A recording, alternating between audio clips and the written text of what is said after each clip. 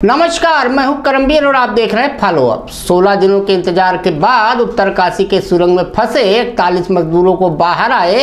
अब तकरीबन 24 घंटे होने को है। अब सवाल है इस दुर्घटना से सबक लेने और एक और सरकारी जाँच कमेटी के जाँच पड़ताल पर। आज हम इस निर्माण से जुड़ी कंपनी, प्रोजेक्ट के डीपीआर, इसके पैसे से जुड़े तथ्यों पर तो पड़ताल करेंगे ही। इसके साथ ही इस पर भी जाँच पड़ताल करेंगे कि क्या ये देवभूमि के पर्वत इस तमाम अनियंत्रित निर्माण को झेल पाएँगे? क्या पहाड़ी नगर और खुद पहाड़ उन दसियों लाख पर्यटकों या चाहे तो उन्हें तीर्थयात्री ही कह लें, का बोझ झेल पाएँगे, जो इन राजमार्गों और रेलवे के ज़रिए वहाँ जा धमकने वाले हैं? इसको भी समझने की कोशिश करेंगे।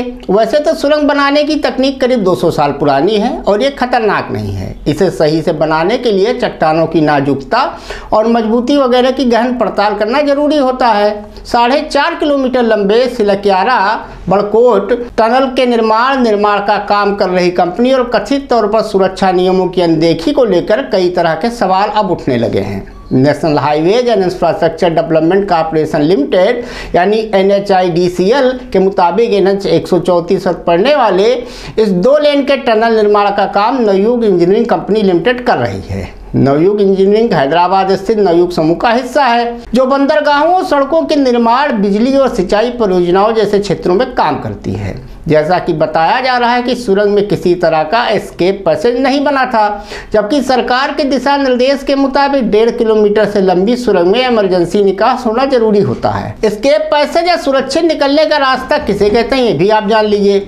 सड़कों या रेल मार्ग पर पड़ने वाली लंबी मुख्य सुरंगों के पास वो छोटी सुरंग होती है, जिन्हें इसलिए तैयार किया जाता है ताकि किसी दुर्घटना की स्थिति में लोगों को वहाँ से सुरक्षित निकाला जा सके या उन्हें मदद पहुंचाई जा सके। साढ़े चार किलोमीटर लंबी सिलक्यारा बड़कोट टनल के साथ ज़ीरो दशमलव तीन तीन किलोमीटर लंबे संपर्क रोड और स्केप टनल को साथ तैयार करने का ज़िक्र कंपनी की आधिकारिक वेबसाइट पर भी मौजूद है। यह बात हादसे के बाद गठित जाँच समिति के सदस्यों के प्रारंभिक जाँच में सामने आई है। भारत सरकार ने नेशनल हाईवे अथॉरिटी के अंतर्गत तैयार हो रहे उनतीस टनलों का ऑडिट करने का भी अब कह दिया है। सिलक्यारा बड़कोट सुरंग निर्माण को साल 2018 में मंजूरी देते समय cabinet committee of economics affairs ने निर्माण कार्य का कुल समय चार साल बताया था, जबकि प्रोजेक्ट की लागत एक करोड़ रुपए बताई गई थी। हालाँकि एनएचआईडीसीएल का कहना है कि अब काम साल 2024 के मध्य तक खत्म होने की उम्मीद है, और इसकी लागत भी अब बढ़ चुकी है। यह प्रोजेक्ट हिंदुओं के चार पवित्र स्थलों, बद्रीनाथ, केदारनाथ, यमुनोत्री और गंगोत्री को जोड़ने वाली चार धाम महामार्ग परियोजना का हिस्सा है। इसे बनाने वाली नवयुग कंपनी ओडिशा के आस्त्रंगा और आंध्र प्रदेश के मछलीपट्टम बंदरगाहों को विकसित करने के साथ साथ मुंबई पुणे एक्सप्रेसवे, ब्रह्मपुत्र पर तैयार 9 किलोमीटर से लंबे पुल को तैयार करने जैसे कामों में शामिल होने की बात कहती है। नयू की वेबसाइट के अनुसार कंपनी भारत में सबसे लंबे काजीगुंड बनिहाल हाईवे प्रोजेक्ट का काम भी कर रही है। नवयुग सिंचाई परियोजनाओं, समुद्री बुनियादी ढांचे तैयार करने और पनबिजली और थर्मल पावर प्रोजेक्ट के क्षेत्र में भी मौजूद है। फरक्का थर्मल प्रोजेक्ट नवयुग ने ही तैयार किया है। उत्तरकाशी सुरंग दुर्घटना ठाणे में समृद्धि एक्सप्रेसवे पर हुए हादसे के तकरीबन तीन माह के दौरान ही हुआ है, जिसमें 20 लोगों की मौत हो गई थी।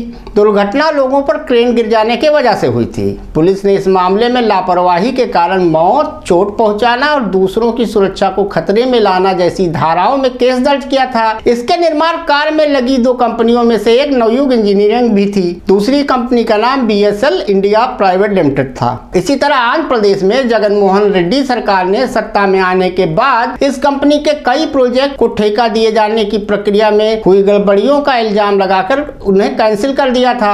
उत्तरकाशी की घटना के बाद सोशल मीडिया पर अडानी समूह को लेकर सवाल भी उठे और दावा किया गया कि नवयुग इंजीनियरिंग में अडानी समूह की हिस्सेदारी है। इसके बाद अडानी समूह ने बयान जारी कर स्पष्ट किया कि उत्तरकाशी सुरंग परियोजना के निर्माण में वो किसी भी रूप में शामिल नहीं है। हालाँकि अडानी इंटरप्राइजेज और नवयुग इंजीनियरिंग कंपनी एक अन्य परियोजना में साथ साथ काम ज़रूर कर रहे हैं। अब चलते चलते ये भी जान लीजिए कि आखिर केंद्र सरकार ने अपने हिंदुत्व के एजेंडे को पूरा करने के लिए किस तरह चालाकी से चीन के नाम पर सुप्रीम कोर्ट से लेकर पहाड़ के लोगों तक को गुमराह किया? दरअसल केंद्र सरकार ने इस परियोजना को किसी भी तरह शुरू करने के लिए कुछ बड़े खेल किए। दरअसल पर्यावरण और कच्चे पहाड़ों के साथ छेड़छाड़ के आधार पर इस परियोजना के विरोध को धता बताने के लिए और अनेक विशेषज्ञों के अनुसार तो बदनीति से केंद्र सरकार ने इस पूरी परियोजना को तिरपन अलग अलग टुकड़ों में बांट दिया।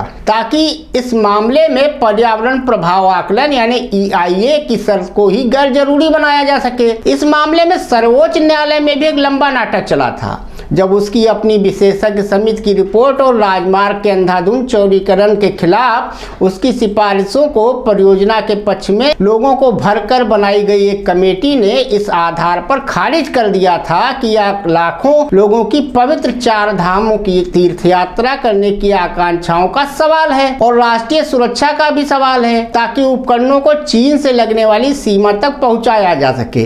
ये दो हवाला केंद्र सरकार ने तब सुप्रीम कोर्ट में दिया था। इन्हीं की आड़ में उसने यह परियोजना चालू की। इन दलीलों के आगे सुप्रीम कोर्ट ने भी हाथ खड़े कर दिए थे। आज तक कोई नहीं जानता कि पहाड़ी हिमालयी क्षेत्र में निर्माण के लिए किस तरह के प्रोटोकॉल का पालन किया जा रहा है। क्या देश में किसी भी विभाग या एजेंसी ने इस क्षेत्र के लिए सख्ती से पालन के लिए कोई निर्माण संबंधी प्रोटोकॉल तैयार भी किया है? क्या कोई भी स्वतंत्र निकाय है जो इस तरह के नियमनों की निगरानी कर रहा हो तथा उनका पालन करा रहा हो? जैसा कि मिसाल के तौर पर यूरोपियन यूनियन में होता है। क्या परियोजनाओं की डिज़ाइनिंग तथा उनके परिपालन से पहले समुचित भू संरचनात्मक अध्ययन कराए जाते हैं? अब ताज़ा मामले में उत्तराखंड सरकार ने जाँच कमेटी गठित कर दी है, जिसमें कई सरकारी शोध तथा अकादमिक संस्थाओं को रखा गया है। ये कमेटी अपनी जाँच रिपोर्ट देगी। ठीक उसी तरह जैसे जोशी मठ के धसाव के बाद जहाँ एक कमेटी बनी थी, उसने अपना रिपोर्ट दिया। अब ये सरकारी कमेटियाँ होती हैं। एक कमेटी जाँच करती हैं, वो अपनी रिपोर्ट सरकार को देती हैं, और उन रिपोर्टों का क्या होता है, ये ईश्वर ही जाने। वैसे कुल मिला के इस सुरंग हादसे के बाद एक सबक तो मिल ही गया है कि उत्तराखंड के पहाड़ बेहद कच्चे हैं, बेहद युवा हैं। उनसे छेड़छाड़ करना गुनाह ही साबित होगा, वो चाहे धर्म के नाम पर ही हो। भविष्य में एक सुरंग रेल मार्ग भी बनाया जाना है। वो भी हिंदुत्व के लिए ही बनाया जाना है चार धाम के लिए बनाया जाना है। अब सोचने वाली बात मोटा मोटी ये है कि धार्मिक आस्था अपनी जगह है, लेकिन आप जब इस तरह अंधाधुंध विकास के नाम पर सड़कें चोरी करेंगे सुरंग बनाएँगे रेल लाइनें बनाएँगे। तो लाजमी बात है, जनता वहाँ ज़्यादा जाएगी। तो 2013 में जिस तरह से केदारनाथ में आपदा आई थी तो ऐसी घटनाएँ फिर बढ़ेंगी, क्योंकि ज़्यादातर लोग धार्मिक दृष्टि से इन जगहों पर नहीं जाते हैं। वो घूमने, सैर सपाटा करने या मौज मस्ती करने जाते हैं। अब उसे आप धर्म का चोला पहना दीजिए, कुछ भी कहिए, राम मंदिर बन रहा है चार धाम आल वेदर रोड बन रही है, वो सब अपनी जगह ठीक है। लेकिन विकास उस कीमत पर करना चाहिए, जिससे प्रकृति के साथ कोई छेड़छाड़ न हो। धन्यवाद।